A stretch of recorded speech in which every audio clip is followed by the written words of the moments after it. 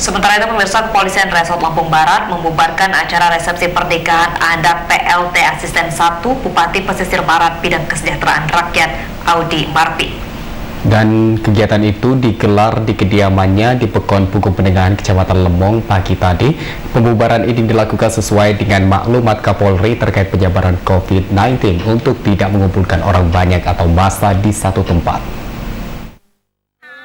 Meski sudah dilakukan sosialisasi untuk tidak mengadakan acara yang berpotensi mengumpulkan orang banyak atau massa, salah satu ASN di pesisir barat yang menjabat sebagai PLT Asisten Satu Bupati Pesisir Barat Bidang Kesejahteraan Rakyat atau Kesra Audi Marpi pada Sabtu pagi bergelar resepsi pernikahan anaknya di Pekon Pugung Penenggahan Kecamatan Lemong.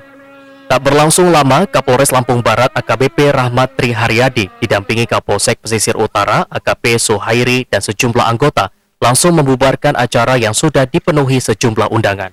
Kapolres pun menyampaikan kepada tuan rumah serta para undangan isi maklumat Kapolri yang melarang semua kegiatan yang berpotensi bisa mengumpulkan orang banyak atau massa, baik itu yang berada di tempat umum atau di lingkungan masing-masing.